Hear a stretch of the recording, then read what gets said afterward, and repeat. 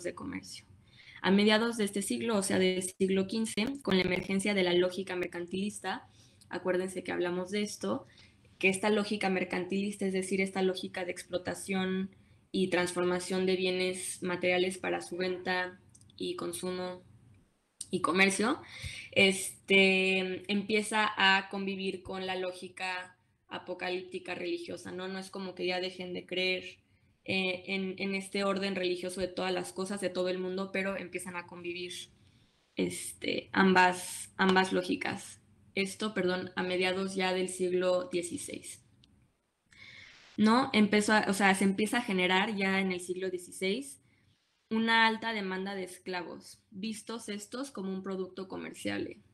En toda la clase vamos a, o sea, y en esta primera parte cuando hablemos de comercio, o sea, es obvio para nosotros que esto es un acto completamente inhumano, ¿no? Y que son personas, pero bueno, en esta época se les empezó a tratar como mercancía, tal cual.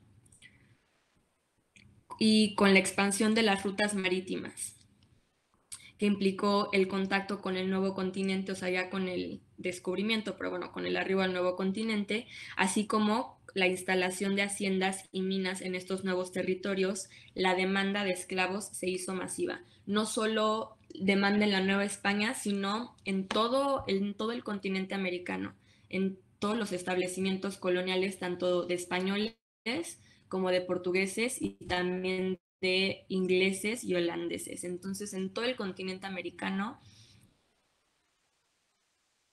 para, la explotación de los recursos naturales, empezó a haber un incremento de la demanda esclavista, porque aunque sí había, eh, sí empezó a haber esclavitud africana en el, en el siglo XV antes de, del descubrimiento de América, y recuerden, descubrimiento entre comillas, para utilizar esclavos en el continente europeo, era, digamos, muy reducido todavía.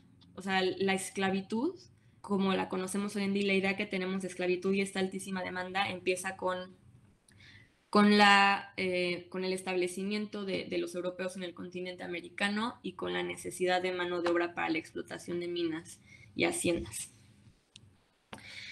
Entonces, el comercio atlántico esclavista se empezó a desarrollar desde entonces, encontrando, sin embargo, su auge en los siglos XVIII y sobre todo en el siglo XIX, siglo en el que se dio la colonización europea de África.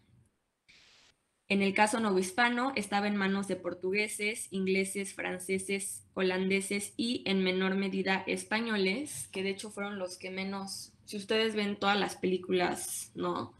Eh, históricas en el siglo XIX de esclavitud, o sea, la esclavitud en la Nueva España en, en cifras numéricas no se compara con la esclavitud que se dio en el norte, en, Estados Unidos. Bueno, ya después fue Estados Unidos, pero antes de que tengan su independencia y todo eso. Y ya una vez obtenía su independencia, eh, Estados Unidos fue el país con mayor comercio esclavista, ¿no? Y también los portugueses desde un inicio tuvieron mucho comercio esclavista. Entonces, esta es una de las razones por las cuales explican algunos historiadores la presencia afrodescendiente mucho más fuerte en Brasil y en, y en Norteamérica.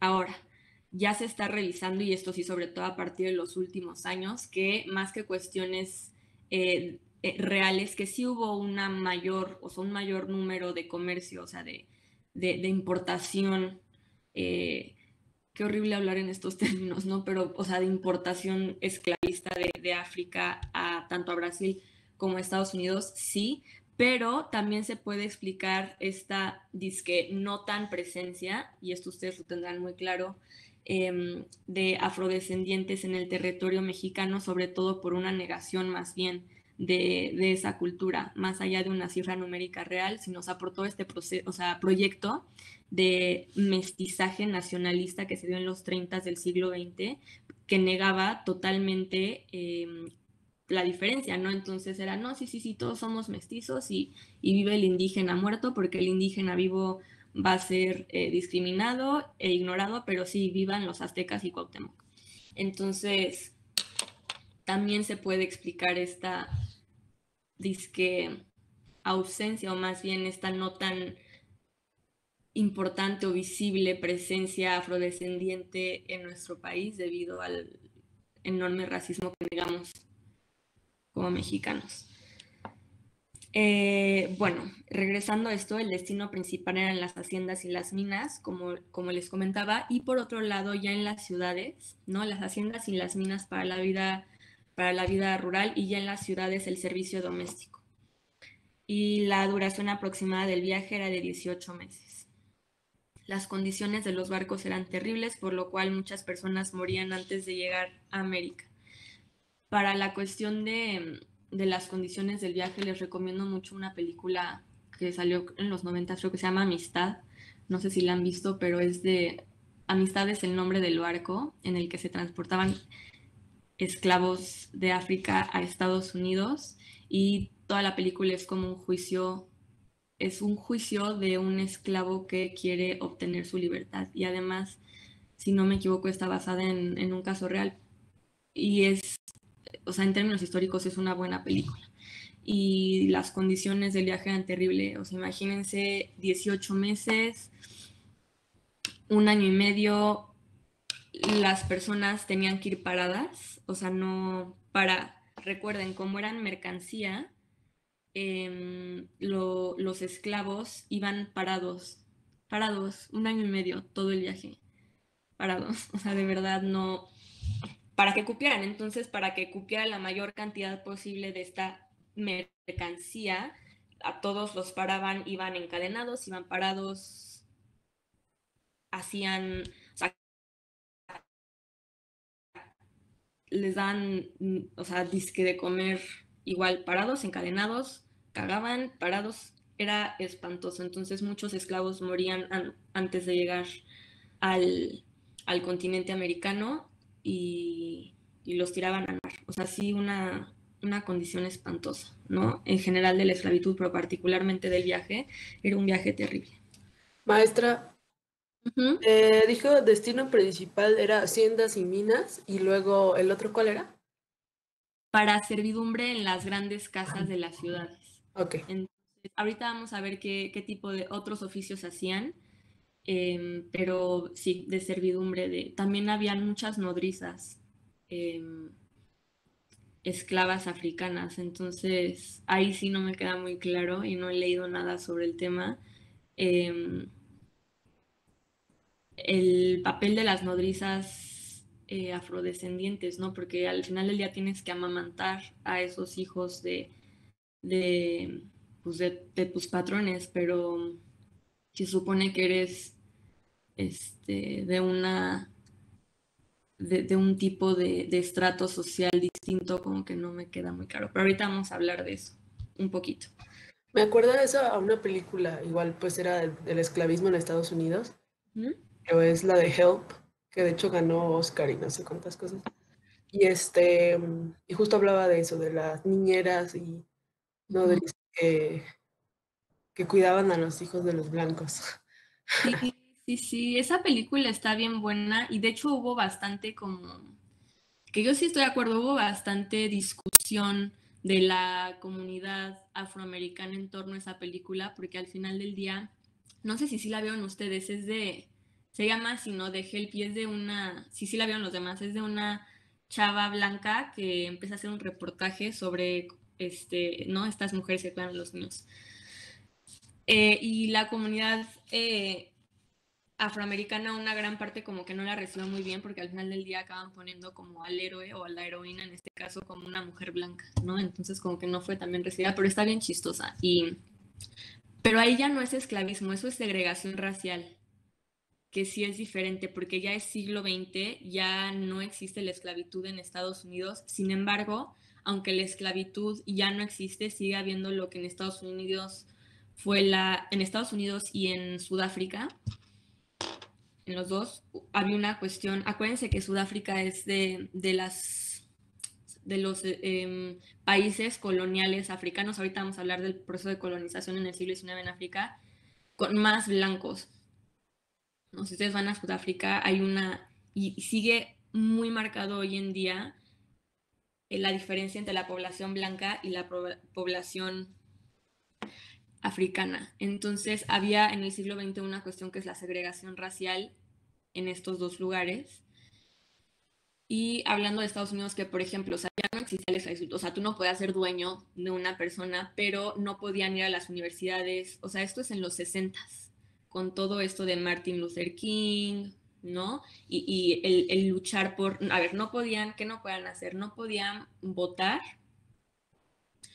eh, era muy difícil que pudieran votar, o sea, en muchos, en algunos estados ya se podía, pero en la gran mayoría de estados, sobre todo en el sur de Estados Unidos, que es en el que estaban estas grandes plantaciones cuando sí existía la esclavitud, estas grandes plantaciones de algodón y que siguen siendo hasta la fecha los estados más racistas de Estados Unidos, los del centro sur de Estados Unidos.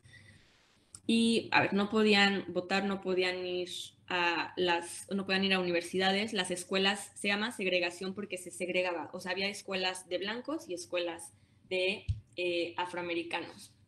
No podían ir a los mismos restaurantes, se tenían que sentar en la parte de atrás de los autobuses o solo subirse a autobuses para niggers, por eso la palabra nigger hoy en día es tan mal vista si se utiliza en Estados Unidos y es tan racista porque en esa época todavía de segregación racial era como nigger boss y, o nigger cafés, ¿no? Para los negros, solo podían ir a cafés.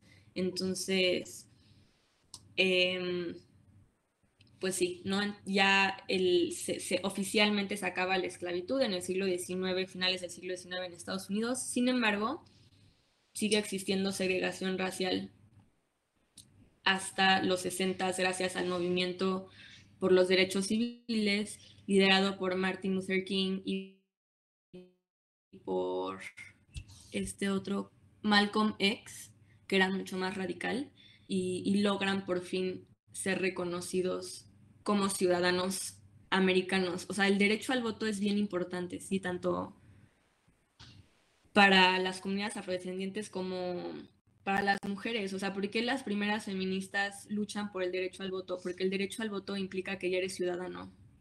Simplemente, o es, es como tu derecho básico ante el Estado, ser ciudadano.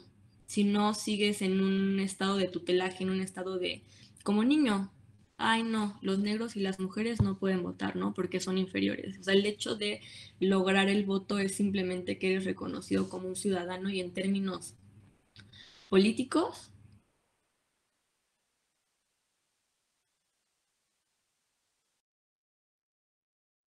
Derecho al voto ante el Estado. ¿Qué eres? ¿No? Por ejemplo, maestra, yo tengo una duda. En la lectura había unas partes en las que como que señalaba mucho que los esclavos también tenían puestos importantes, ¿no? Es como que hicieran esclavos, pero pues eran banqueros o etcétera. Pero a mí me llamó la atención porque no dejan de ser esclavos, ¿no? O sea, ser, a pesar de que tengas un puesto decente, entre comillas, o sea, no dejaban de ser como un servicio, ¿no? No sé qué oportunidades tenían dentro de ese puesto o así, pero, o sea, se mencionan como esclavos, solo que con oficios distintos, ¿no? O sea, bueno, con un oficio ya. Si quieres, ahorita lo, lo discutimos bien cuando vayamos a la lectura y me dices esa página, porque ah, tenían muchos tipos de, de puestos, pero ya cuando obtenían la libertad entonces, no sé, si quieres vamos directo a eso y lo, y lo discutimos. Ah, perfecto, sí, sí, gracias. Ok, y ahorita vamos a hablar también de, estos distintos puestos que tenían, porque sí, sí me parece, este, no me acuerdo exactamente de la lectura, entonces sí vamos con detalle a eso cuando, cuando lo escuchamos. Pero bueno, perdón, me salí muchísimo del tema, este, y, vamos a regresar, perdón, a, la esclavitud en, el siglo XVI y XVII.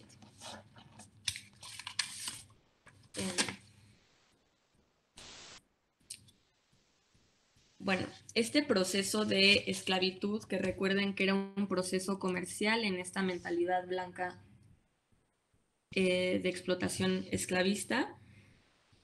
Y bueno, el proceso de esclavitud se iniciaba normalmente con el secuestro de mujeres, niños y hombres de sus comunidades, aunque había muchas ocasiones, bastantes ocasiones, en las que eran directamente vendidos como esclavos. Ahorita vamos a hablar de esto.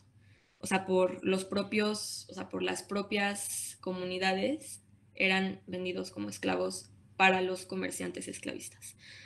Posteriormente existía la figura de los intermediarios, que eran quienes los compraban y los, transportaban a los centros de comercio europeos en el continente. Todos los centros de comercio europeos en el continente estaban en las costas. Entonces eran centros costeros de comercio esclavista. Entonces estos intermediarios iban al lugar, compraban o secuestraban a hombres, mujeres y niños y luego los llevaban a los por ejemplo, del Reino del Congo era el que más esclavos exportó. Y ya los llevaban a los puertos para, para estos intermediarios entonces vendérselos a los comerciantes transatlánticos que los llevaban, ahorita vamos a ver las rutas, a, a América. ¿No? Ahí negociaban las ventas y se daban normalmente estas ventas, tanto ya cuando llegaban al continente como en los centros de, comercio esclavista del, de África se daban a partir de mm, subastas. Entonces se exhibían a los esclavos en a veces en tarimas o podía ser en simplemente en, pues, en el piso en una plaza se exhibían a los esclavos y se decían las cualidades de las cualidades físicas de los esclavos. Entonces, desnudos, se exhibían desnudos. Horrible esto, pero de verdad es increíble que haya pasado, pero bueno, se exhibían desnudos y no, este sí es muy alto, fuerte, entonces sirve, cuesta más porque va a aguantar más y puede cargar más, etc. Los niños y las mujeres no eran tan caros como los, como los esclavos hombres jóvenes, jóvenes, o sea, adolescentes y hombres jóvenes fuertes.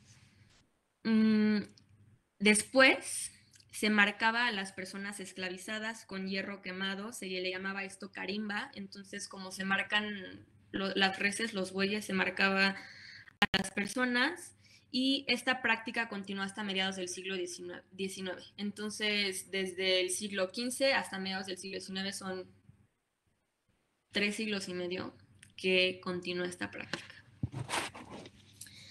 Eh, las civilizaciones del continente africano de las cuales se extraían a las personas que serían reducidas a esclavitud estaban normalmente estructuradas en un sistema de estratificación social similar al que nosotros vimos para la Nueva España y para Europa. En general, pues esta cuestión de la estratificación social es una cuestión general en los siglos XVI y XVII en, en el mundo, ¿no? Em, pero bueno, en el caso específico del continente africano, esa estratificación social estaba conformada por nobles, trabajadores libres y personas esclavizadas dedicadas a la agricultura y se regían bajo un sistema tributario. Entonces, por eso les comento que en muchísimos casos, eh, más allá del secuestro, sí se vendían, o sea, los mismos esclavos de, por ejemplo, el reino del Congo, esos mismos esclavos se vendían como esclavos a los comerciantes europeos. Si bien cada una de estas sociedades desarrolló un sistema social particular, la mayoría tenía formas de organización familiar y social similares, vinculadas por lazos de parentesco y de linaje matrilineal o patrilineal. Este, en otras sociedades, sin embargo, ya existían organizaciones sociopolíticas de tipo estatal, más que este, linajes de parentesco, ya existían este, organizaciones de tipo estatal regidas por un rey, su corte y funcionarios públicos. Por eso, o sea, eh, por ejemplo, todos los que dicen el imperio de Canem, el reino de Axum, el reino del Congo, eh, el estado de Luba, o sea, todos estos que están señalados y que dicen imperio o reino o estado, ya tenían estructuras políticas de tipo estatal eh, más burocratizadas. Y bueno, esto es por supuesto un mapa de la época. Hoy en día África no está dividida así.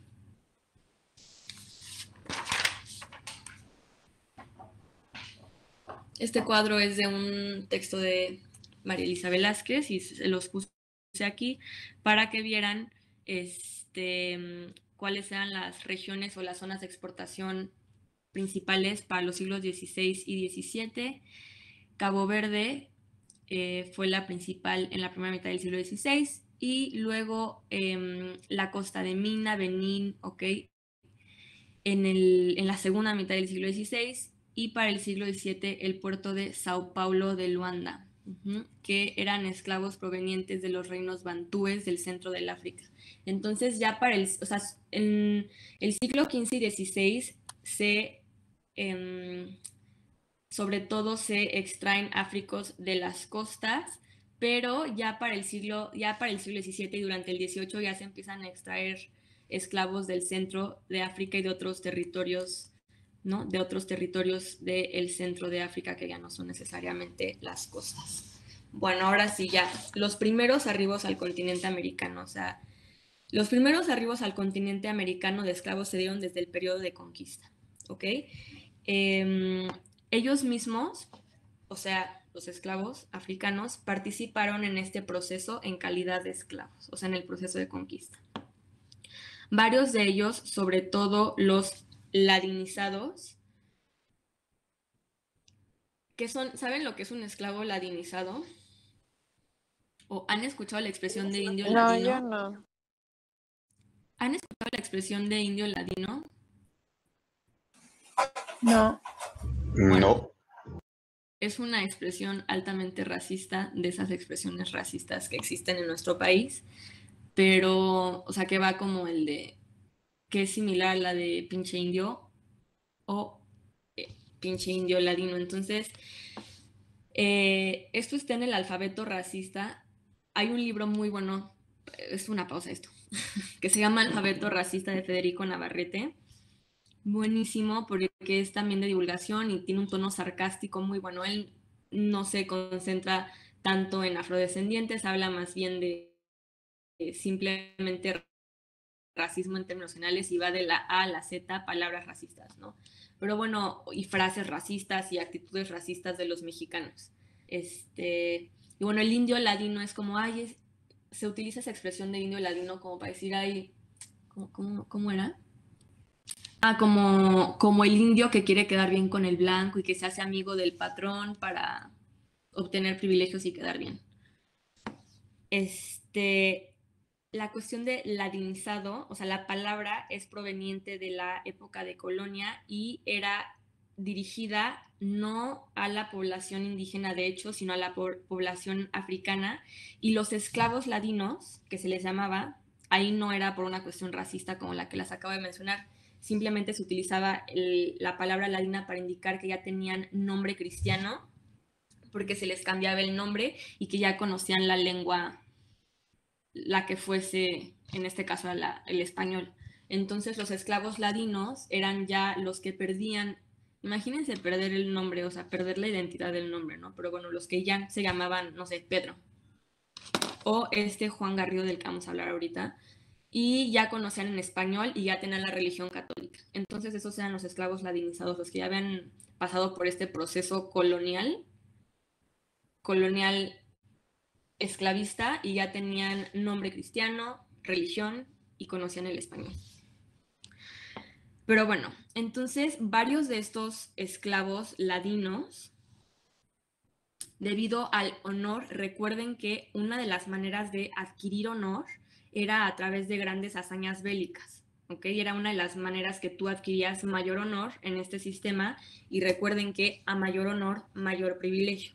Entonces, bueno, Debido al honor que adquirían en estas batallas, fueron recompensados con ciertos privilegios, siendo el principal, por supuesto, pues su libertad, ¿no? Eh, la cual venía acompañada con tierras y mano de obra, mano de obra perdón, para los más destacados. Entonces, a estos esclavos de la conquista que hicieron grandes hazañas militares, se les y obtuvieron honor gracias a dichas hazañas militares, se les dieron privilegios, siendo el primero no solo la, libertad de la esclavitud, sino ya después de que eran libres se les daban tierras, como a los conquistadores, que acuérdense que a los conquistadores se les dio la repartición de las tierras y también a estos esclavos liberados. O sea, se les, otorgaron encomiendas. Acuérdense, y lo vuelvo a repetir nada más, hacer encomiendas era este sistema de tenencia de la tierra donde estaba el encomendero y la gente les daba tributo físico al encomendero y ya el encomendero daba el tributo al virrey y el virrey al rey en España, etc. Eh, la gran mayoría, sin embargo, no se dedicaron a la encomienda, sino a oficios de carácter urbano. O sea, estos esclavos liberados, la gran mayoría no fueron encomenderos en el siglo XVI, sino que ya una vez obtenida su libertad, se insertaron en el modo de vida urbano dedicándose a diferentes oficios. El personaje más importante, o por lo menos el más reconocido por la historiografía y del cual se han hecho mayores investigaciones por las fuentes, porque existe mucha información de este personaje, es Juan Garrido, quien fue miembro de la tripulación de Hernán Cortés. Entonces, este es el códice de Azcatitlán y aquí se observan a los conquistadores vestidos con la armadura eh, europea. Aquí ya hay, ahora sí, esclavos indígenas. Recuérdense que se podía caer en esclavitud, o sea, que los indígenas no podían ser esclavizados, pero eh, sí podían caer en, en esclavitud si se rebelaban, o sea, se hacían guerra en contra del sistema. Entonces aquí hay indígenas esclavizados atrás de los conquistadores. Aquí está Hernán Cortés y bueno, aquí estaba la Malinche, está cortada. Y aquí vemos a esta figura que es Juan Garrido, ¿no? Que es la única figura que destaca por este color, el, color de piel. Este, entonces, Juan Garrido, Juan Garrido perdón, fue un esclavo nacido en el entonces Reino del Congo, que hoy en día se divide entre la República del Congo y la República Democrática del Congo, y participó en la conquista de Cuba, de Puerto Rico y de la Florida. O sea, lo que hoy es Florida en Estados Unidos, en ese momento era la Florida y era parte del territorio eh, del virreinato. Se le atribuye el ser la primera persona en haber plantado trigo en el Nuevo Mundo y algunos historiadores sostienen que por sus hazañas militares se le otorgó el privilegio de la dotación de un terreno en la recientemente delimitada traza de la Ciudad de México. O sea, y esto es un gran privilegio porque la Ciudad de México era, pues, o sea, el centro de la vida política y pública del virreinato. Entonces, el hecho de que se le haya otorgado un pedazo de tierra, no en Michoacán o en cualquier otro lado, sino en la Ciudad de México, era un enorme privilegio. Fue pregonero de la misma ciudad, portero y guardián del acueducto de Chapultepec. Los pregoneros eran los encargados de eh, apagar todas las lámparas de aceite que iluminaban la ciudad en ese momento. Acuérdense que no había electricidad. Y con eso se marcaban, o sea, y esto es muy importante porque con eso se marcaban las distintas horas del día, o sea, se prendían y se apagaban estas lámparas y se, daba, digamos, la hora, o sea, era el portero, digamos, el guardián de la ciudad y esto sí es un gran, gran, gran privilegio y honor en la época.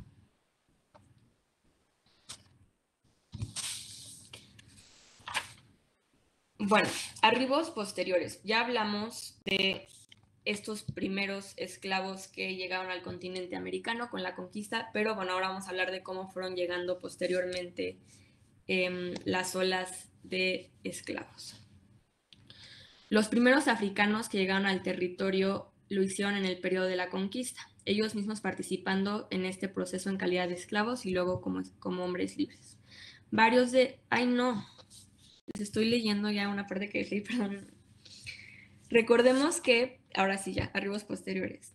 Por diversas causas, en especial por la defensa que las órdenes mendicantes hicieron de los indígenas, de la cual, de la cual destaca particularmente la de Bartolomé de las Casas, que ya leyeron ustedes, la corona prohibió a mediados del siglo XVI la esclavitud indígena y legisló esto este, en, en, las, en las leyes para la protección de los indígenas de... Mm, se me olvidó cómo se llama el documento, pero bueno, esto ya lo vimos cuando vimos pueblos de indios, perdón. Eh, y ya eran todos vasallos de la corona. Sí, acuérdense que se les dio el, el mismo estatuto que recibía el pueblo llano en el imperio español, o sea, el estrato más bajo de la pirámide social, a los indígenas. Sin embargo, también existía legalmente la excepción de esclavitud hacia los indios que se alzaban en guerra y también aquellos que ya eran esclavos. O sea, en, los primeros años de conquista también se esclavizó y se continuó el, el estatuto legal de esclavitud, porque el ser esclavo también implica ser esclavo legalmente o sea, tú tenías un carácter legal o de hombre libre o de esclavo, entonces a los ya esclavos de los señores indígenas se les, o sea, se les continuó su carácter de esclavitud una vez la conquista, ¿no? Eh, por lo cual se sabe hoy en día que sí existieron esclavos indígenas, sobre todo muchos al final del periodo novohispano, cuando empieza a haber, hay, muchos, hay muchas rebeliones al principio del periodo de colonia y también al final. Entonces ya al final empiezan a haber más rebeliones y por tanto más esclavitud de aquellos indios revueltos que se les llamaban o aquellos que se rebelaban. Y en su mayoría chichimecas del norte. Entonces acuérdense que el norte siempre fue un área que les costó muchísimo trabajo. Apenas en el siglo XVIII intentaban todavía los jesuitas sobre todo reducir a la vida cristiana a los indios del norte, pero fue una zona que siempre les costó muchísimo trabajo. Ya les había mencionado que incluso Porfirio Díaz, o sea, 1880, 1900, quería mandar a jesuitas al norte para ver si ya podían hacer algo con esos indios revoltosos del norte. Los chichimecas siempre costaban mucho trabajo y era a los que se quería esclavizar más. Junto con esto, desde el arribo de los ibéricos hubo un, un enorme descenso en la población originaria debido a las nuevas enfermedades, sobre todo la viruela, los malos tratos y la explotación de las, de las poblaciones escenificadas en el sistema de encomienda. Entonces, el sistema de encomienda que dura este, solo el siglo XVI y luego recuerden que desaparece, también hubo muchísimas muertes y eh, el trauma del que habíamos hablado la clase pasada, causado por la reorganización por la guerra por un lado, por la conquista por un lado, y por otro lado por esta organización en pueblos de indios. Entonces hubo un descenso muy grande en la población. Entonces, debido a esto, ¿no? A que por un lado no se podían esclavizar a los naturales, como les llamaban, porque eran naturales de estas tierras. Entonces no se, les, no se pueden esclavizar a los naturales de estas tierras legalmente, porque ya habían sido, ya se sabía que si eran siervos de Dios, por todo el debate de Fray Bartolomé y otros religiosos, eso por un lado, y luego por otro lado por el descenso, el descenso perdón, poblacional, este, la corona otorgó diversas licencias para traer esclavos directamente del continente africano y con ello constituir la mano de obra que se requería en las haciendas, los oficios rurales y urbanos, así como el servicio doméstico.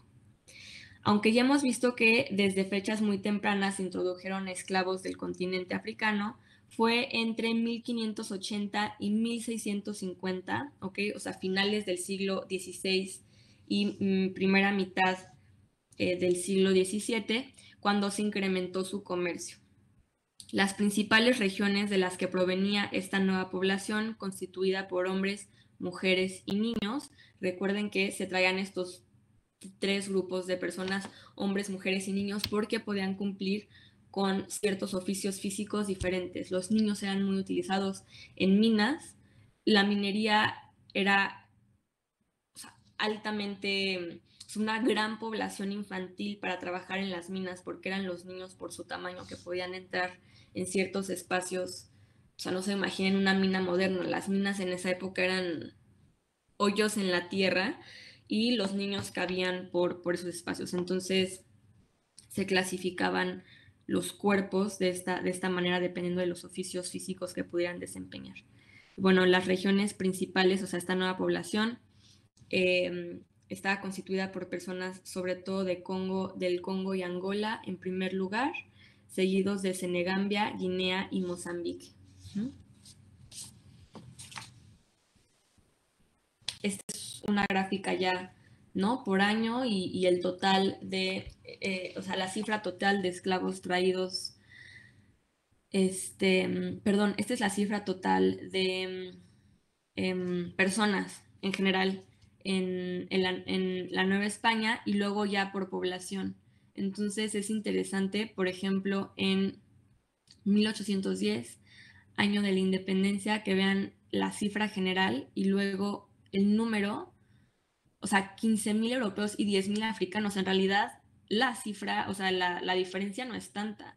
El punto es que ha sido invisibilizado en nuestra historia, o sea, que se piensa también hoy en día que la población afrodescendiente o sea, no ustedes, porque ustedes se dedican a eso, ¿ok? Estudian estas cuestiones, pero en el general de la población mexicana, los que están, hay parte de la población que ni siquiera está consciente que existen afromexicanos, pero bueno, la parte que está consciente piensa que siempre fue esta mm, parte muy reducida, pero vean aquí las cifras bastante interesantes, o sea, en realidad están bastante cercadas la población africana en relación con la población europea y bueno, por supuesto la población indígena era la, mayoritaria, ¿no? Seguida en segundo lugar ya de las poblaciones mestizas, que eran el segundo lugar mayoritario ocupado por, o sea, en términos, digamos, de población.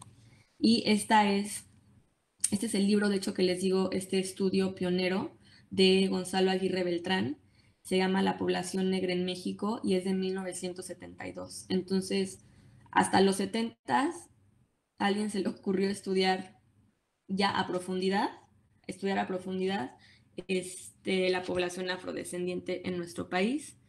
Y bueno, desde los 70 muy pocas personas han seguido ese, esa línea de, estudio, aunque en los últimos 10 años sí ya ha habido un, un, avance en, estudios de afrodescendientes. A, ver, estos serán, miren, estas eran las rutas mediante las cuales llegaban los barcos de esclavos a la Nueva España. Por un lado, arribaban o al puerto de Veracruz y por otro al puerto de Acapulco. La ruta que tenían que seguir para llegar al pueblo de Veracruz era simplemente cruzar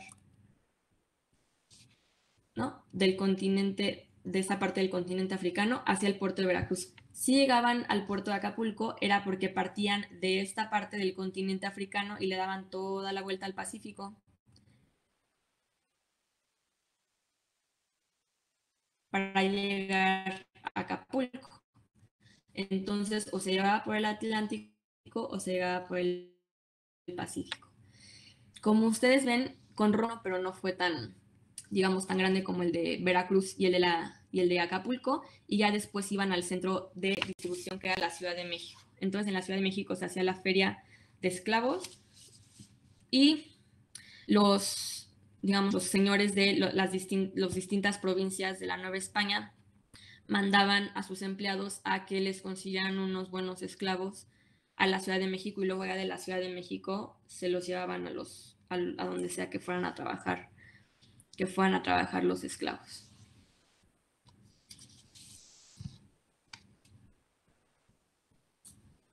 Esperen.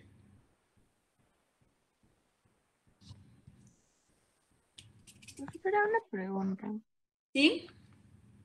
¿Y qué pasaba con los ancianos morenitos? Bueno, afrodescendientes, no, más bien africanos, todavía no afrodescendientes porque pues si bien mencionas, dices que los niños tenían mucho valor, ah, al igual que los hombres por la fuerza y las mujeres, bueno, por las actividades domésticas, ¿no? Pero los señores de la tercera edad, o sea, bueno, antes de, llegar a, bueno, a ofrecerlos en un mercado, o sea, a ellos los ignoraban, los mataban o también los esclavizaban de algún modo. No, o sea, es que no, cuando se compraban los esclavos en el continente africano, no se compraban esclavos mayores de edad. O sea, se compraban solo esclavos jóvenes, fuertes, mujeres y hombres, y niños y niñas. O sea, que estuvieran sanos, que estuvieran fuertes, y no se compraban personas mayores de edad. Ahora, por supuesto que ya, una vez siendo esclavos, o sea, una vez llegados aquí, y luego ya los hijos de esos esclavos que ya crecían y ya se hacían viejitos, tenían que ser esclavos hasta que se murieran. O sea, no había ningún tipo de, no sé ni, o sea, ningún tipo de humanidad de decir, ay, pues el señor y es, la señora ya están cansados, pues ya no, que ya no sean, no, eran esclavos desde que nacían. Si tú nacías hijo de esclavos, eras esclavo desde que estabas en el vientre de tu mamá y eras esclavo hasta el último aliento que dieras. Entonces, eso pasaba a menos de que puedas comprar tu libertad. Ahorita vamos a ver cómo se consigue la libertad, pero, pero bueno, era eso, ¿no? No se, no se eh, comerciaban directamente con esclavos mayores de edad, pero una vez que se hacían mayor, mayores de edad, ya siendo esclavos, aquellos jóvenes o niños que se compraban, seguían siendo esclavos hasta que se morían. Em, se, estima que a lo largo de los tres siglos virreinales llegaron aproximadamente, o sea, durante los siglos XVI, XVII y XVIII, 2.5 millones de hombres, mujeres y niños, sin contar solo de los que llegaron, porque acuérdense que esto sí se registra, o sea, se registraban ante notario todas las llegadas, entonces por eso podemos sacar esa cifra. Pero bueno, esa cifra es sin contar ya los esclavos que nacían eh, aquí en la Nueva España. A finales del siglo XVII comienza a decaer. Acuérdense que la época de auge es de la segunda mitad del siglo XVI y la primera del siglo XVII, solo en la Nueva España, ojo, porque en Estados Unidos la época de mayor esclavitud fue el siglo XVIII em, y XIX, pero aquí en la Nueva España es, es, hay un descenso a partir de 1750 más o menos, eh, que empieza a decaer el comercio transatlántico de esclavos y al mismo tiempo se empezó a elevar la descendencia nacida en el territorio novohispano, así como el mestizaje con otras etnias. Entonces no es que hubiera un descenso a mediados del siglo XVII porque ay, ya agarraron el peso de que esto de la esclavitud está muy mal. No, el punto es que empieza a haber un descenso del comercio transatlántico porque ya empiezan a nacer muchos esclavos aquí mismo. O sea, ya se empieza, o sea, se empiezan a procrear los esclavos, a nacer esclavos aquí mismo, así como em, un mestizaje entre esclavos y miembros de, o sea, esclavos e indígenas, también esclavos y españoles, esclavos y criollos, esclavos y otras mezclas. O sea, ya empieza a ver, se empieza a repoblar el territorio. O sea, recuerden que se empiezan a traer esclavos por el descenso en la población indígena en esa primera etapa de la conquista, pero una vez de que hay un incremento en la población en general, tanto indígena como eh, afrodescendiente, etcétera, ya se dejan de traer esclavos de, de África. ¿Alguna duda hasta aquí? Ya ahora sí del proceso de esclavitud, del proceso de esclavitud, de, de las cifras, ahora vamos a hablar como de la vida cotidiana. No, todo bien por mi parte. Ok, muy bien, muchas gracias. Esta es la observación de un viajero italiano del siglo XVIII y se las quise poner aquí porque me parece, me parece interesante la observación de ese extranjero sobre la población afromexicana. Bueno, en ese momento no era afromexicana, pero bueno, afrodescendiente. No sé quién me quiere ayudar a leer la, la cita de este viajero.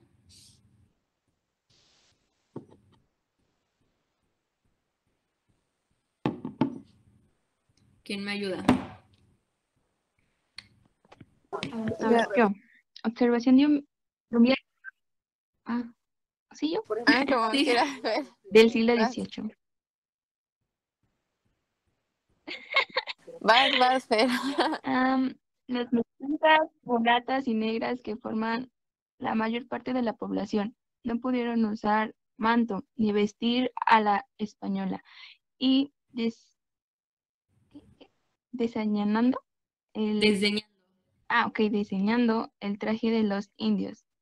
Andan por la ciudad vestidas de un modo extravagante, pues llevan una como en agua atravesada por la espalda o en la cabeza a, manera de manto. ¿Qué les hace parecer otros tantos diablos? Otros tantos. Ok, muchas gracias. ¿Qué me dicen de esta observación de la vestimenta de las africanas?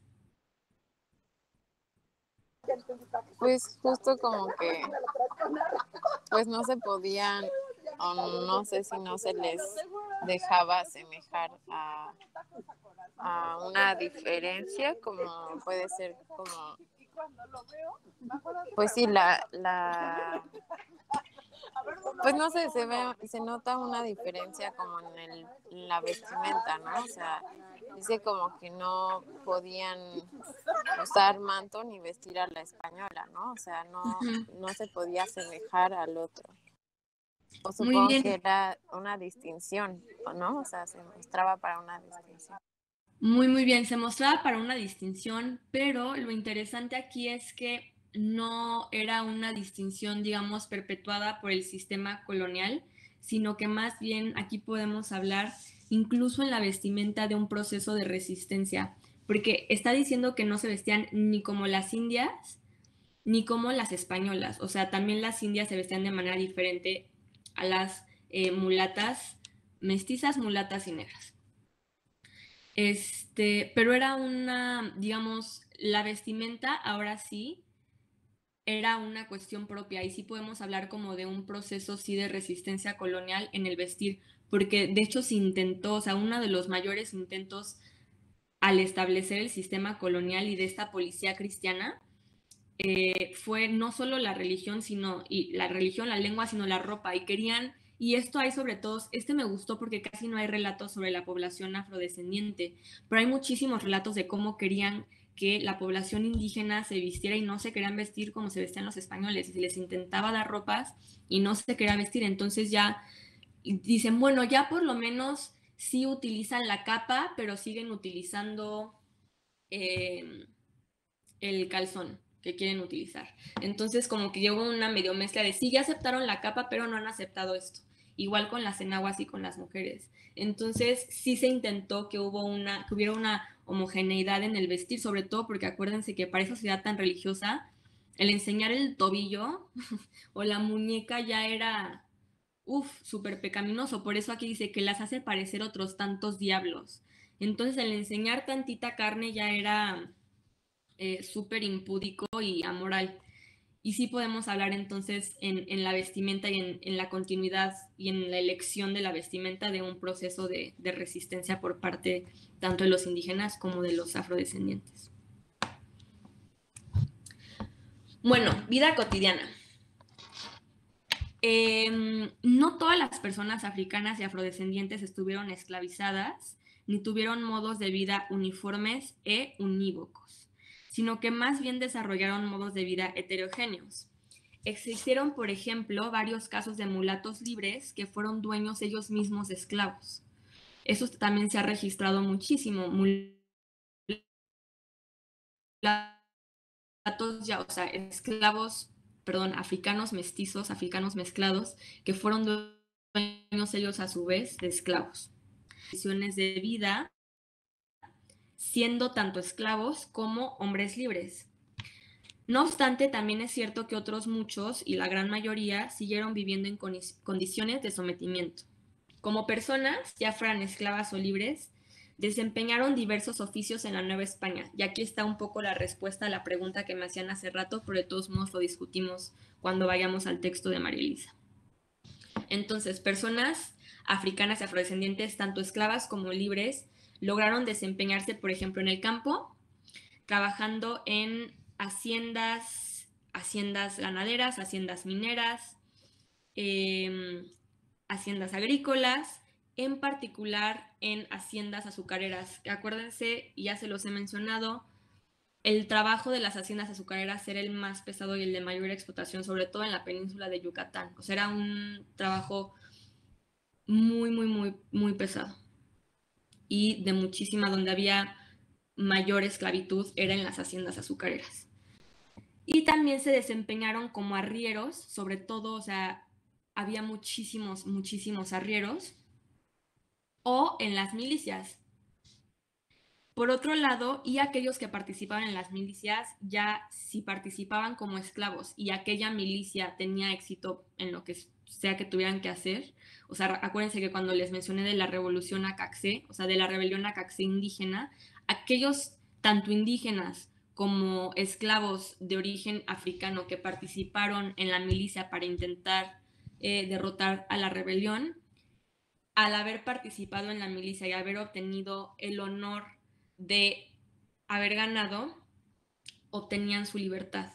Entonces, por eso muchas personas participaban en carácter de esclavitud, participaban en, cuestiones eh, militares para obtener la, libertad. Por otro lado, en el ámbito urbano, o sea, ya no en el rural, en el ámbito urbano se desempeñaron como pregoneros oficiales, que el pregonero era el encargado de eh, las luces, pero también el encargado de dar avisos en las ciudades, avisos oficiales.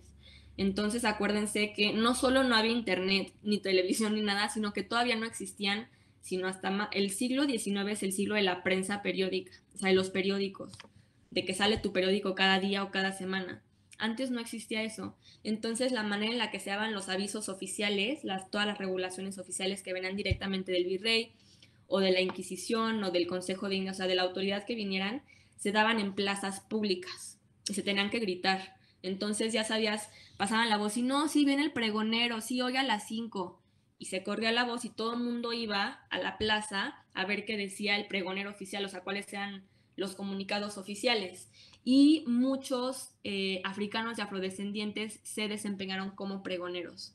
Entonces era uno de los oficios que más tenían los em, afrodescendientes.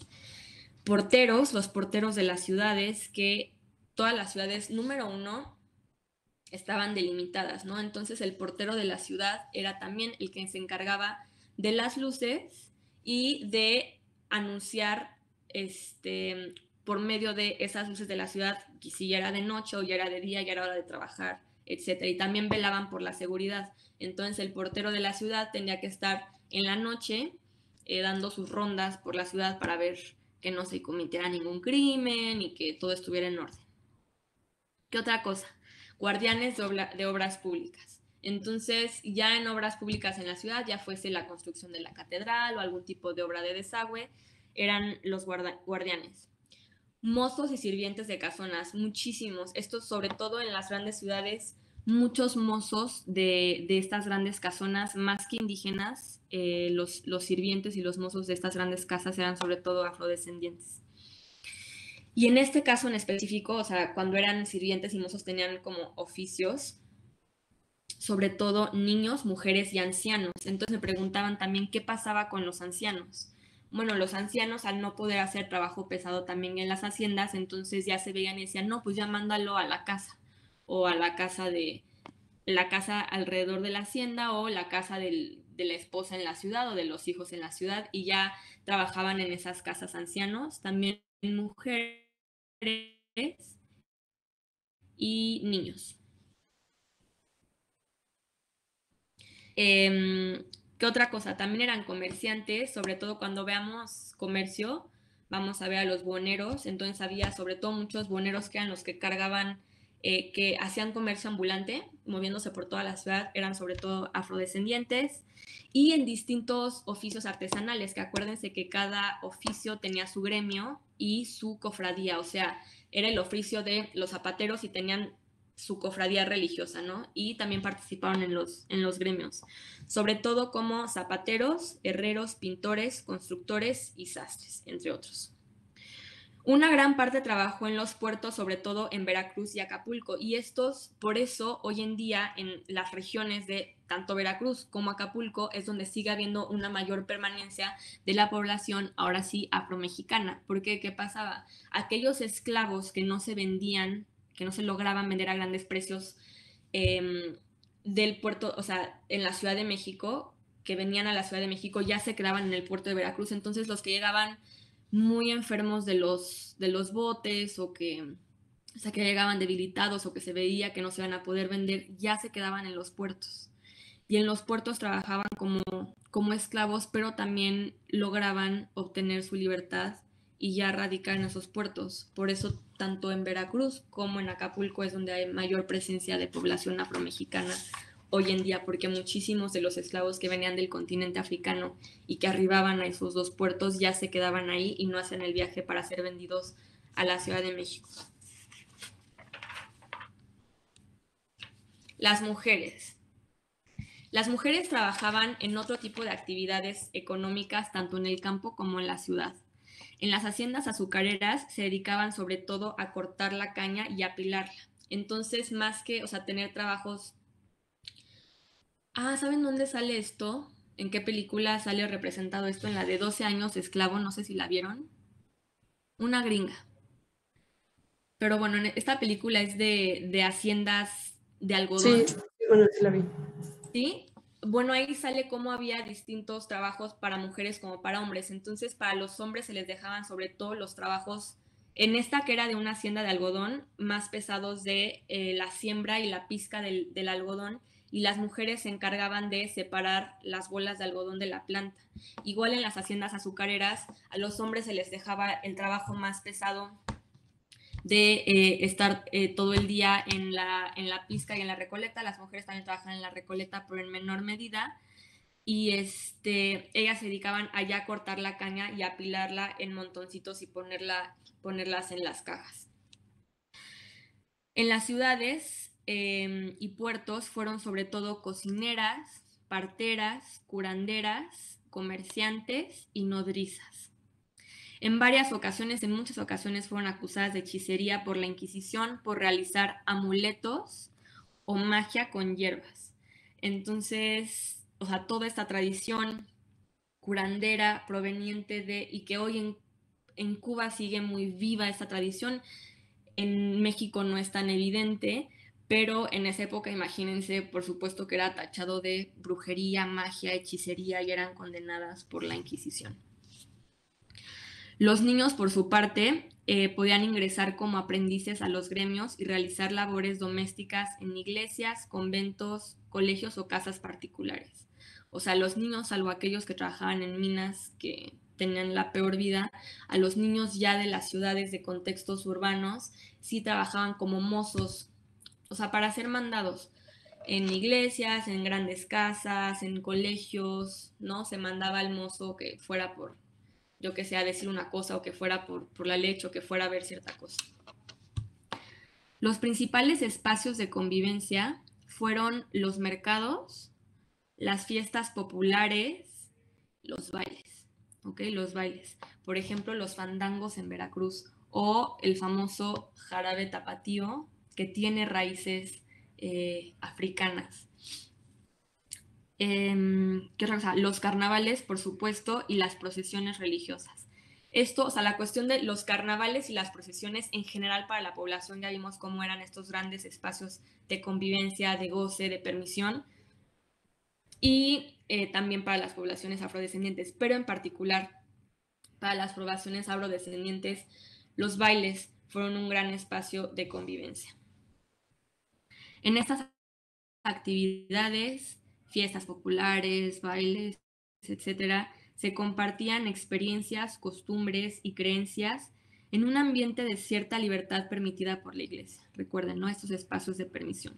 Por otro lado, los lugares de trabajo como las cocinas, los talleres gremiales, los conventos y las haciendas fueron espacios que también propiciaron intercambios culturales, así como personales y amorosos. Ahora sí, ya no solo entre población africana, sino entre una distinta mezcla de etnias. Las cofradías y milicias de negros y mulatos, así se les llamaba ya para el siglo XVIII, segunda mitad del XVII, fueron importantes espacios no solo de convivencia, sino de ascenso social para estas poblaciones. Las primeras, o sea, las cofradías, estaban organizadas en torno a determinada devoción, solían localizarse en una capilla en específico de, dentro de algunos, esa capilla dentro de algún convento o iglesia, y realizaban distintas actividades alrededor de esa devoción, no solo procesiones, también comidas, convivios, eh, alrededor de esa devoción. Ahorita vamos a ver una devoción este, africana importante en la Nueva España. Los cofrades se apoyaban entre sí, o sea, los cofrades son los miembros de las cofradías, no solo en términos sociales, sino y sobre todo económicos los beneficios abarcaban desde préstamos y hasta herencias. También por eso todo el mundo quería pertenecer a una cofradía, no solo porque era este espacio de, convivencia y de compartir, sino, por ejemplo, si un cofrade, si tú eras miembro de una cofradía y tenías mucho dinero, está, y ya te ibas a morir, estaba muy mal visto que, le dejaras solo el dinero a tu familia. O sea, en, realidad los miembros de las cofradías dejaban su dinero a las cofradías. O sea, por ejemplo, dejaban, no sé, 30% para los hijos y 70% para las cofradías. Y si tú eras miembro de esa cofradía, pero no eras el señor rico que heredó y necesitabas dinero, la cofradía te prestaba dinero y no, no con intereses como los bancos hoy en día. Entonces, era muy importante también pertenecer a una cofradía para tener seguridad económica. Miren, este San Benito de Palermo es un santo del siglo, creo que del siglo XV o anterior, italiano. Entonces, e, era, o sea, la historia cuenta que era un esclavo, o sea, era un, era un esclavo africano en Italia, pero que por beneficios de Dios, Dios se le reveló, entonces hizo muchísimo, consiguió su libertad y eh, hacía milagros, milagros entre la poca población em, esclavizada. Entonces, San Benito de Palermo es un santo muy importante, fue un santo muy importante para la población afrodescendiente en la Nueva España y hoy en día también es un santo muy importante, por ejemplo, en Colombia y en Venezuela. O sea, entonces para toda la parte africana de América Latina es un santo muy, muy importante. Les mencionaba que uno de los trabajos en los que más se desempeñaron los eh, afrodescendientes fue como arrieros, es decir, para transportar eh, bienes por medio de eh, animales de carga, ya fueran caballos o sobre todo mm, burros. Entonces aquí vemos esta representación de, este es, no sé, no se alcanza muy bien, pero este sí es un arriero africano con sus burros de carga. Y este contexto es un contexto sobre todo rural, pero este es un contexto de mercado. Entonces, pues, este, este es, un ámbito rural, pero mercados había en todos lados y bueno, mercados hay en todos lados en nuestro país, ¿no? Y aquí pueden ver cómo se están vendiendo distintas cosas, telas, eh, jarrones, crucifijos, eh, platos, etcétera, en este mercado y aquí está el arriero con, los burros y, y, la carga. Y aquí, se ve, aquí sí se ve más claramente, es parte de, eh, de la misma obra, pero es otro fragmento sigue estando el contexto aquí del mercado y aquí sí ya se ve un niño, este es un niño llevando en un diablito un jarrón. Entonces, como, como arrieros es como uno de los oficios que, más tuvieron. Luego, Juan Correa. Juan Correa es uno de los pintores barrocos novohispanos más importantes, ¿ok? Junto a Miguel Cabrera. Juan Correa es uno de los, uno de los pintores más importantes del periodo. Y era, el, le decían el mulato en su época y era un pintor efectivamente mulato.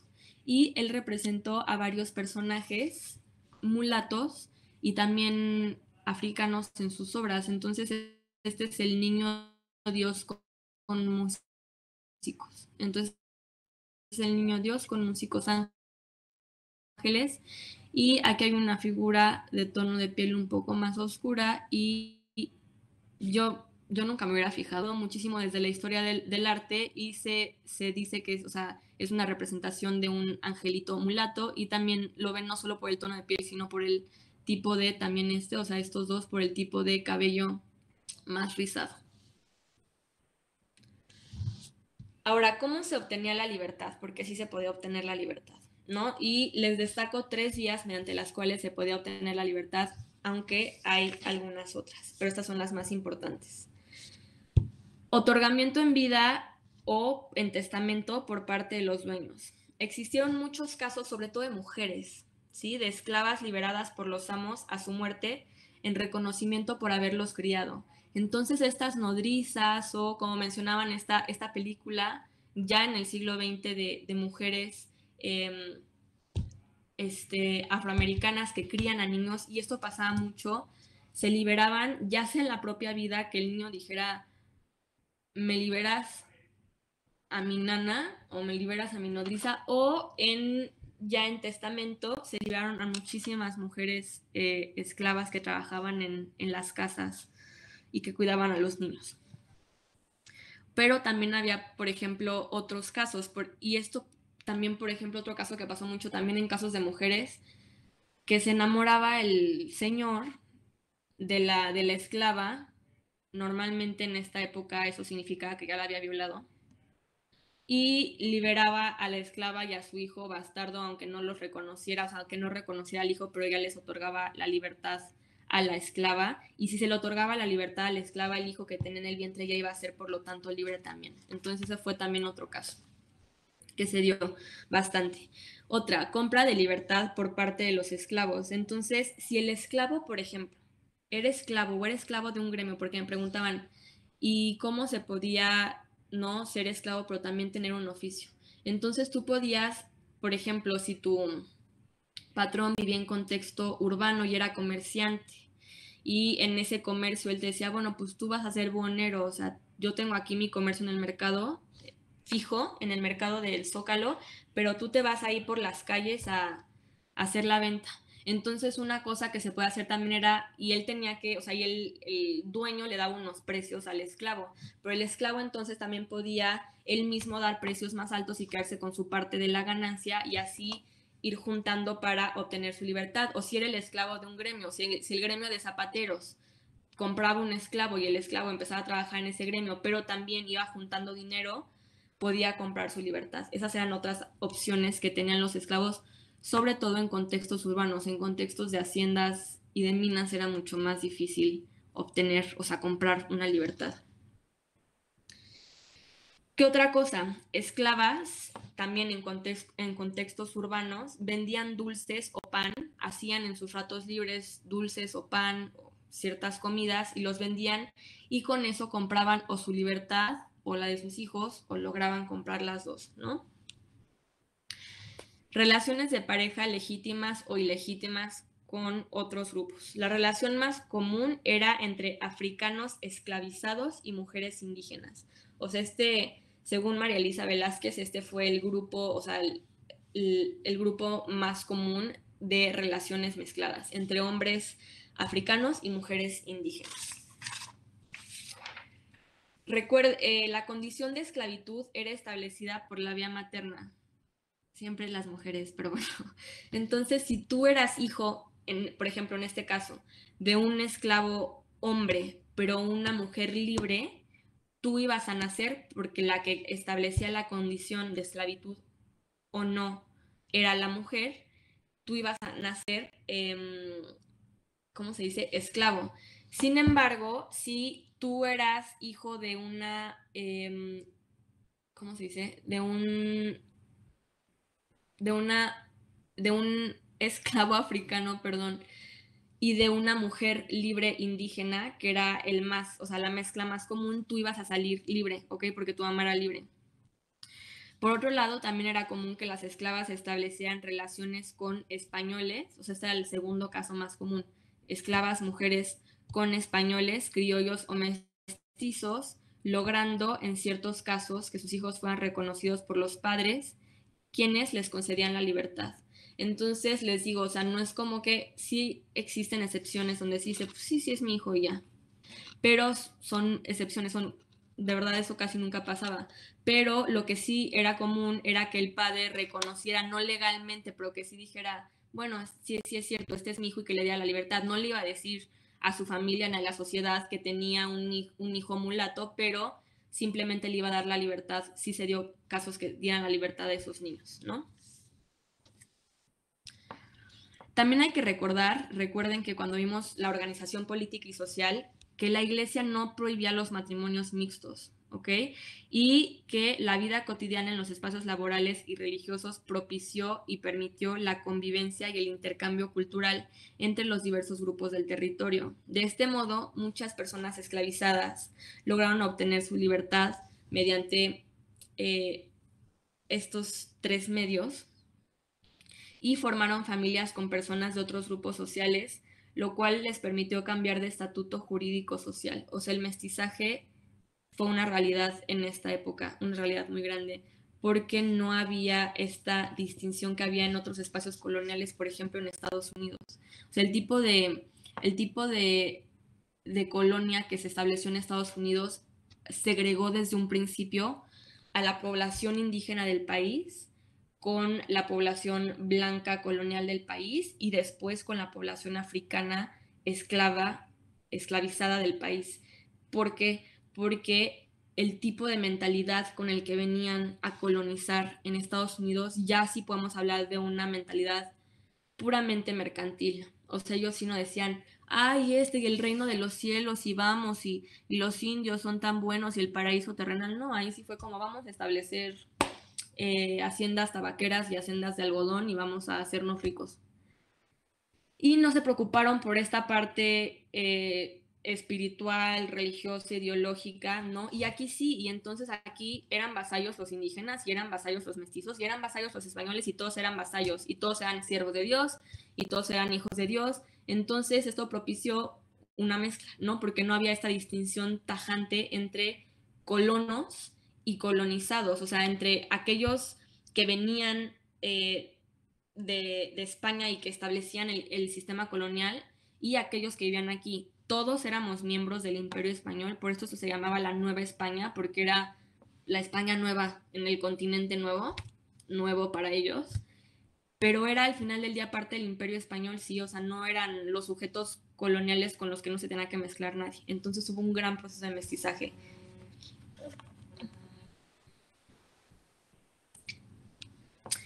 Em, a mediados del siglo XVII, la región del centro y del sur de la Nueva España se caracterizaba por ser una sociedad, de nuevo les digo centro y sur, porque acuérdense que el norte fue complicado, fue un área de revueltas y, y no hubo un proceso de mestizaje tal cual en nuestra época, en el periodo novohispano, tan intenso en el norte. Pero en el centro y sur podamos hablar de una sociedad culturalmente diversa en la que convivían indígenas nahuas, otomíes, mixtecas o mayas con africanos de grupos wolofs, o sea, de Senegal y de Gambia, mandingos, bantúes y con europeos de diversas regiones de España, Portugal e Italia. Entonces era un espacio de interrelación y de convivencia bastante, bastante, bastante, bastante mixto.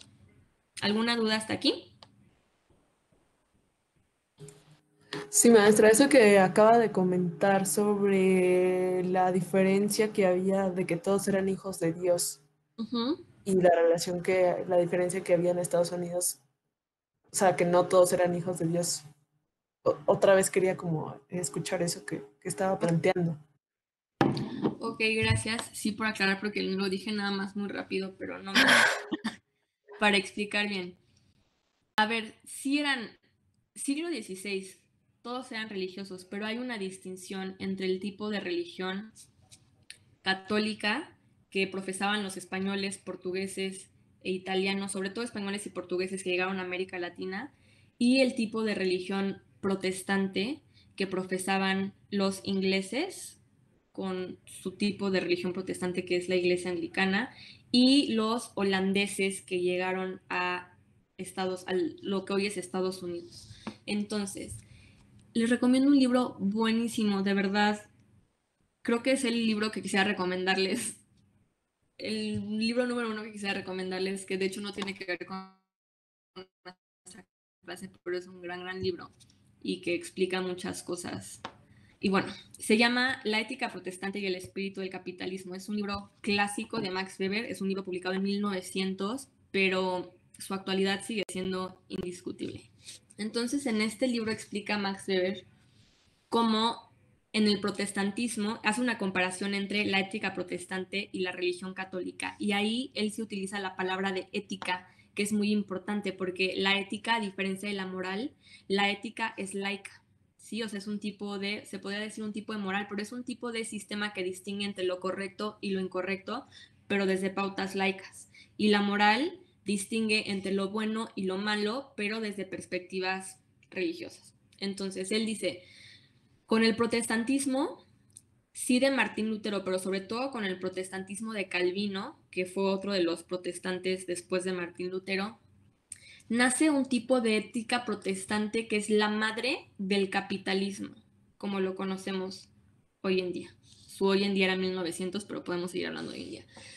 Entonces él dice, o sea, la ética protestante lo que hace con su eh, teoría de la predestinación, tú en la ética, a ver, si tú eres protestante y sobre todo calvinista, pero en general si eres protestante, no te tienes que ganar tu camino al cielo como en el mundo católico. En esta mentalidad protestante, el camino al cielo ya está predestinado. Es decir, o sea, Dios ya elige quiénes se van a salvar y quiénes no. Y tú, o sea, desde antes de que tú nazcas, o sea, eso ya es una elección divina. ¿Sí? Tú puedes, sin embargo, demostrarte a ti mismo y a Dios que eres de los elegidos para la salvación eterna si te va bien en la vida. ¿Y cómo te va bien en la vida en el mundo terrenal? Pues si tienes un buen nivel de vida, es decir, si tienes negocios y te va bien económicamente. Entonces empiezan a unir religión con una ética de trabajo. Entonces, tienen una gran ética de trabajo en el sentido de que el trabajo es visto como bueno, la, creación de dinero es vista como buena, mientras en comparación con la mentalidad católica, el trabajar es visto como sucio. O sea, acuérdense que los, los usureros y los judíos, aquellos que prestaban dinero y por eso eran también tan discriminaban tanto a los judíos porque eran los que tenían el negocio de la usura, o sea, de préstamo de dinero, era visto como, ¿cómo se llama este pecado capital? Codicia. ¿Avaricia? Bueno, ese no. ¿Es avaricia o codicia? ¿Codicia o avaricia? Codicia. Codicia. Entonces, el hecho de acumular dinero y, y, de querer dinero es un pecado capital. Entonces, la mentalidad católica es, el trabajo es sucio, además también es una mentalidad muy unida al el catolicismo con un, con un tipo de aristocracia, o sea, es ensuciarte las manos, todo lo que tenga que ver, o sea, que trabajen los del pueblo, ya no, los, los del estrato bajo de la sociedad, yo soy aristócrata, yo no voy a trabajar. Por eso muchísima de esa aristocracia luego se quedó pobre y ya se acabó en Europa porque no hacían nada. De hecho, hay una figura en España que se llama el Hidalgo. Entonces, este Hidalgo eh, era un hombre con todos sus escudos de arma, acuérdense que tienen esta, esa idea de la genealogía y de que tus padres, o sea, tenías todo este linaje puro de sangre. Entonces era un, hidalgo en el siglo XVII, era un hombre con todos sus escudos de arma y con toda sus, su linaje, su pureza de sangre, 100% pobre, porque no hacía nada, porque no tenía nada. ¿Por qué les he hecho todo este choro para explicarles eh, la diferencia entre los dos sistemas coloniales?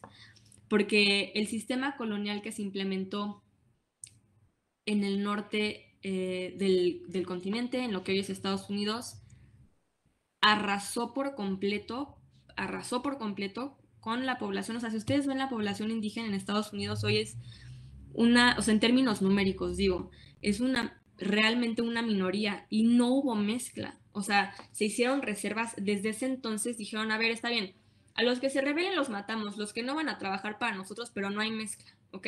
Ustedes son nuestros sujetos coloniales, ustedes van a trabajar nuestras tierras, esto es un negocio, ¿no?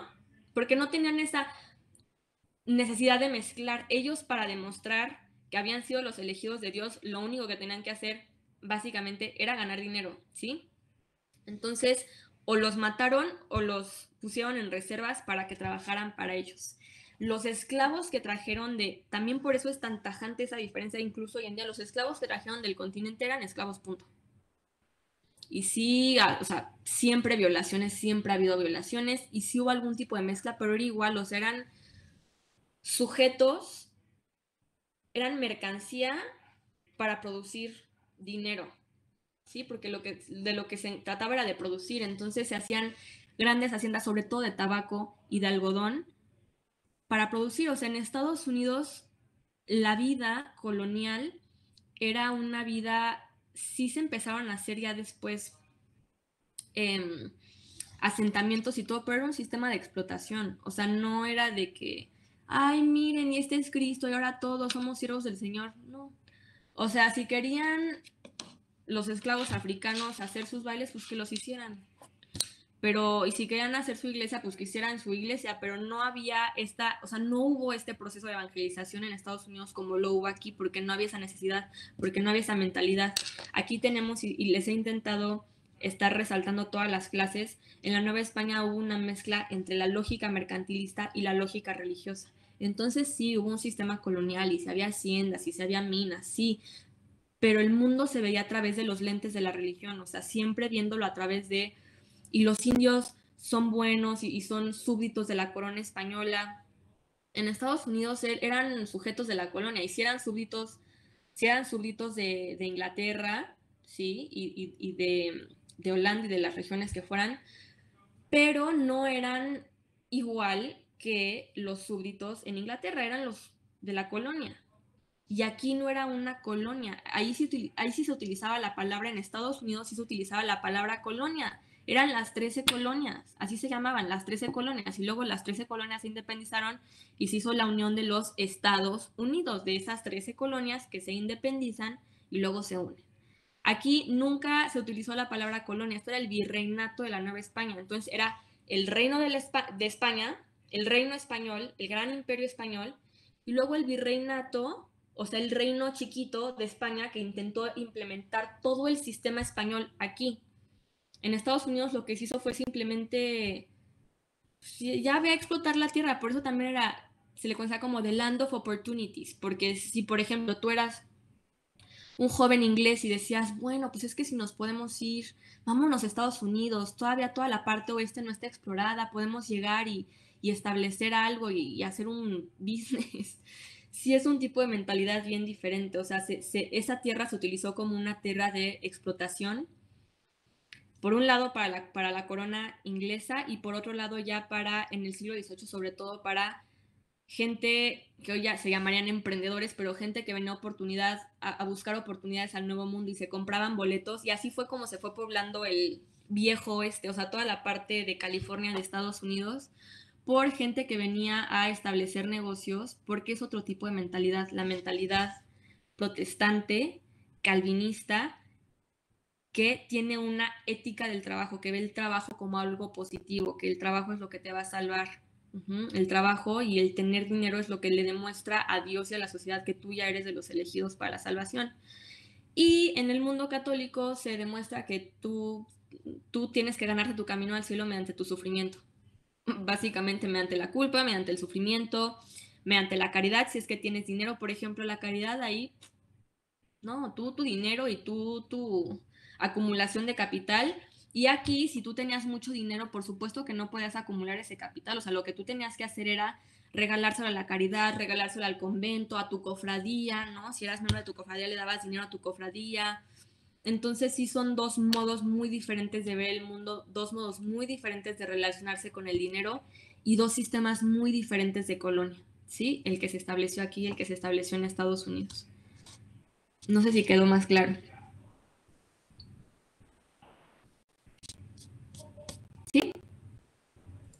Sí, me ya mucho, mucho, más claro.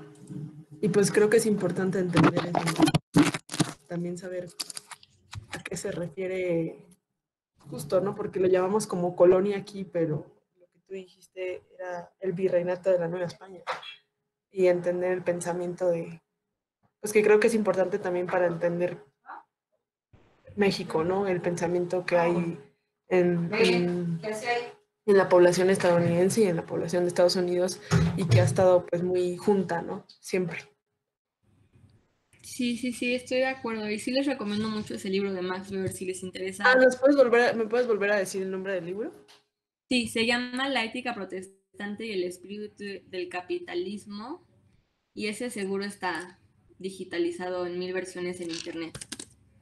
La ética protestante y el espíritu del capitalismo así se llama. Y sí es, es bien, bien, bien interesante para entender el nacimiento del capitalismo y, justamente cómo todo el sistema capitalista sí nace y se concentra en los países, en Inglaterra, ahí se da la primera, o sea, la revolución industrial, en Estados Unidos, o sea, estos eh, países con tradición protestante, eh, que son los grandes países del capitalismo, por lo menos hasta donde Max Weber le tocó vivir, que fue el siglo XIX, ¿no? Eh,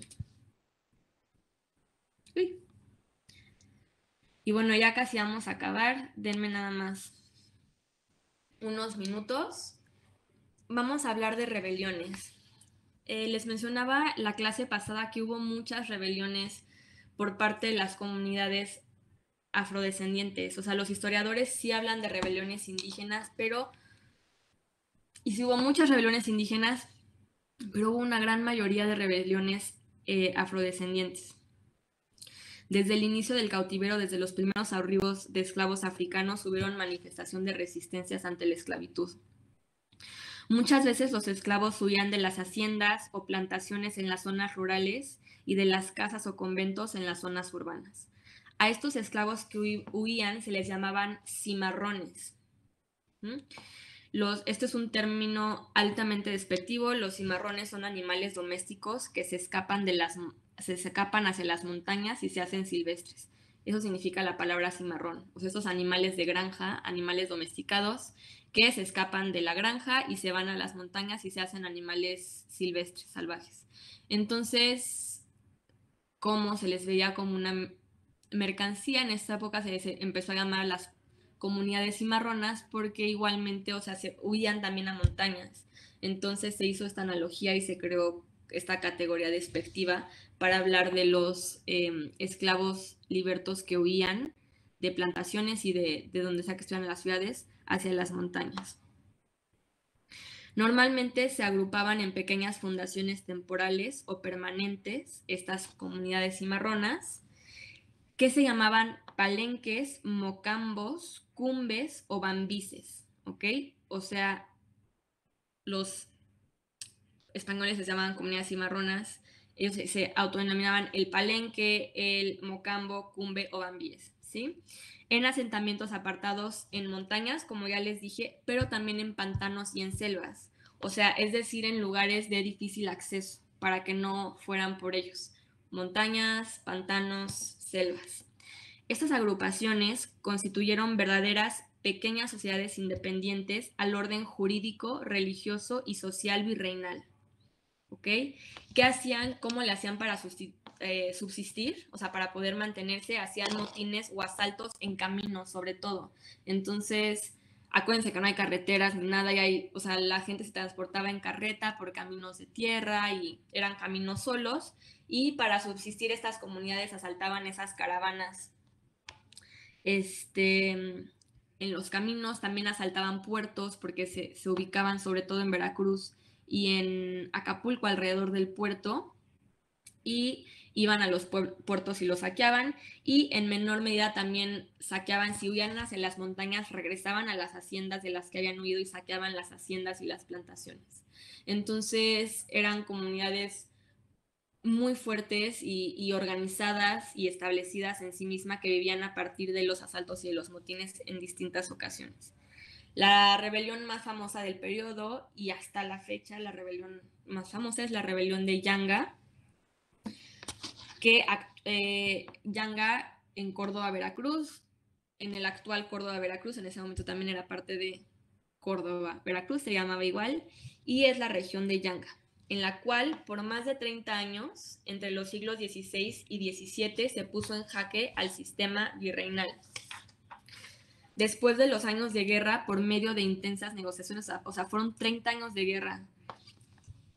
Este es el Yanga, o sea, esta estatua está en la actual Yanga eh, Veracruz y es el Yanga que le llamaban así al líder de la revolución, bueno, no revolución porque no existe esa palabra en ese momento, perdón, de la rebelión y fueron 30 años de guerra, les digo, y después vinieron años de negociación donde los líderes de la rebelión negociaban con autoridades no hispanas y estas negociaciones llegaron hasta el virrey, que en ese momento era Luis de Velasco, y él dijo ya, ya pues, y reconoció oficialmente al asentamiento cimarrón de Yanga como una jurisdicción libre a la cual bautizó como San Lorenzo de los Negros. Entonces, en el siglo XVII dijeron, está bien, ustedes son una...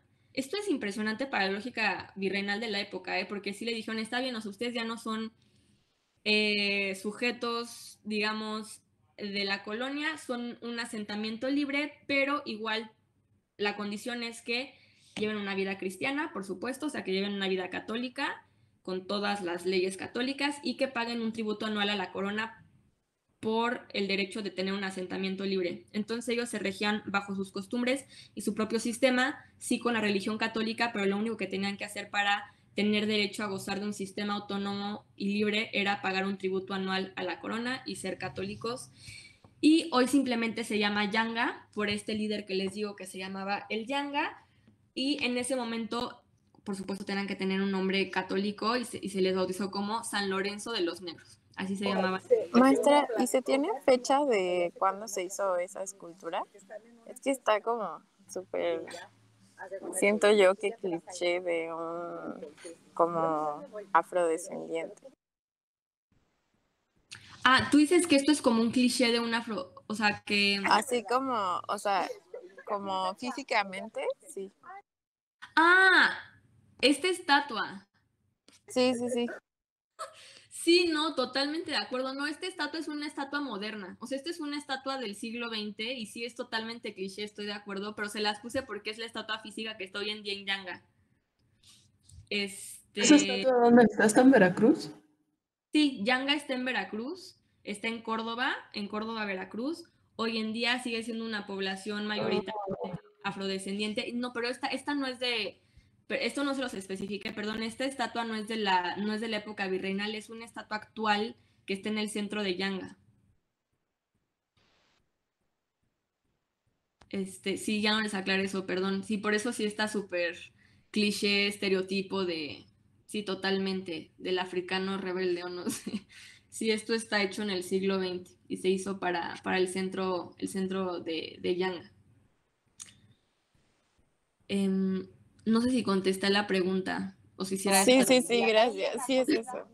Sí, no, sí era eso, no de nada. Y hoy en día pueden ir a visitar Yanga, sí existe Yanga, en ese momento les digo que era San Lorenzo de los Negros y no encontré, no encontré una representación de, de, de, esa época, una representación pictórica de esa época y por eso les puse esta estatua del siglo XX. Y ya, ya acabamos. Solo a manera de, de conclusión les quería decir, hoy podemos ver la influencia africana en muchísimas cosas de nuestra cultura mexicana, desde las carnitas y la charrería y sobre todo en músicas y bailes. O sea, el son jarocho que normalmente se asocia con este son típico de Veracruz, con influencias eh, indígenas, dicen algunas personas, tiene en realidad una gran influencia de toda la comunidad afromexicana de esta zona de, de Veracruz. La bamba y el chuchumbe, que es un tipo de son. Y no sé si quieran ver un... Si ya están cansados, no, pero les, les escogí un video de, de un chuchumbe. No sé si conocen, es un tipo de... No, hay que verlo. Sí, si quieren verlo. Sí. Bueno, esto es actual, por supuesto, pero les digo que es de, de las músicas que tienen mayor influencia eh, africana. Y este está bonito.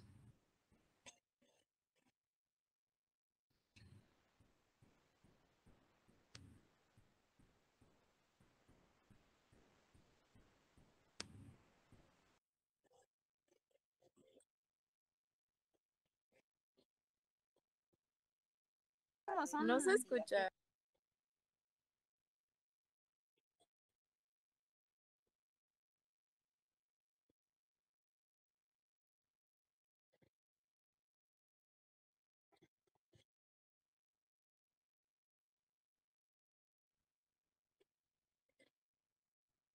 Ah, yo no escucho nada.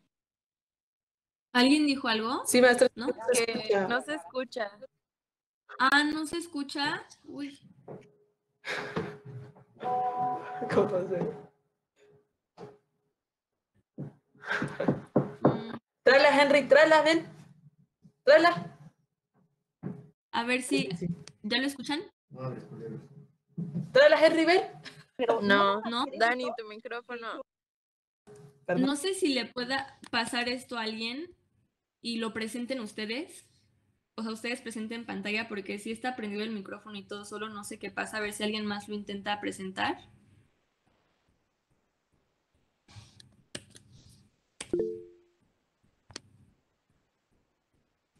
¿Alguien, alguien tiene Ah, yo Buena no puedo conexión. porque estoy en mi, sol, en mi celular.